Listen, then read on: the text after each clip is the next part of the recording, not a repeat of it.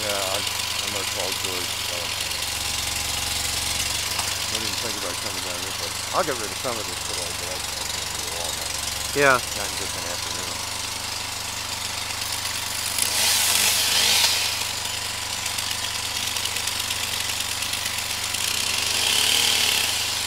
This is kind of stuff.